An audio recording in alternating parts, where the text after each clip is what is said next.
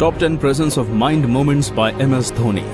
Presence Dhoni का पहला शतक जब लंबे बालों वाले माही के तूफ़ान में उड़ गया था पाकिस्तान भारतीय क्रिकेट टीम के पूर्व कप्तान महेंद्र सिंह धोनी के लिए 5 अप्रैल का दिन उनके लिए बहुत ही स्पेशल है, क्योंकि 5 अप्रैल 2005 को उन्होंने अपने एक दिवसीय करियर का पहला शतक लगाया था। धोनी ने ये क्रिस्मा पाकिस्तान के खिलाफ खेली गई छह वनडे मैचों की सीरीज़ के दूसरे मुकाबले में किया था।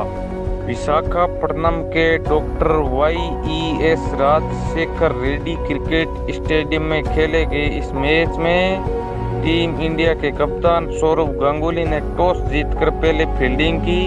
भारत की शुरुआत खराब रही और पहला विकेट छाईस रनों पर गिर गया। सलामी बल्लेबाज सचिन तेंदुलकर दो रन बनाकर आउट हुए। इसके बाद एम एस धोनी माही तीसरे नंबर पर बल्लेबाजी करने आए। उन्होंने वीरेंद्र सहवाग के साथ भारतीय पारी को आगे बढ़ाया। इन दोनों बल्लेबाजों ने शतक की साझेदारी कर भारत को शुरुआती झटके से उबारा। सहवाग चौहत्तर रन बनाकर आउट हुए।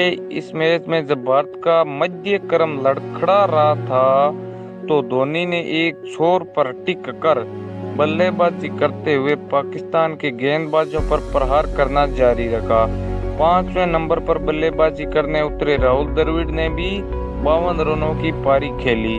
धोनी ने आक्रामक अंदाज में बल्लेबाजी करते हुए मेहमान टीम के गेंदबाजों की धज्जियाँ उड़ा दी। उन्होंने आतिशी बल्लेबाजी करते हुए 123 गेंदों पर एक रनों की पारी खेली।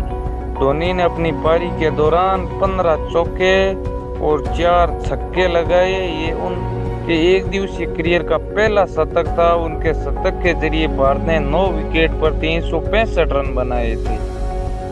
इस मैच में पाकिस्तान के गेंदबाज शाहिद अफरीदी और मोहम्मद शामी काफ़ी महँगे साबित हुए। अफरीदी ने अपने नौ ओवर के स्पेल में बयासी रन लौटाए। वहीं सामी ने नौ ओवर में पैंसठ रन खर्च किए। इन गेंदबाजों के महँगे साबित होने की वजह एम एस धोनी की बल्लेबाजी थी। बाद में तीन सौ सत्तावन रन के लक्ष्य को हासिल करने उतरी पाकिस्तान की टीम निर्धारित चौवालीस पॉइंट एक ओवर में दो सौ अट्ठानवे रनों पर ऑल आउट हो गई। पाकिस्तान की तरफ़ से पहले ज़्यादा अट्ठासी रन अब्दुल रजाक ने बनाए। भारत की तरफ़ से आशीष नेहरा ने चार और युवराज सिंह ने तीन विकेट चटकाई। एक रनों की पारी खेलने वाले एम एस धोनी इस मैच में player of the match award दिया गया था।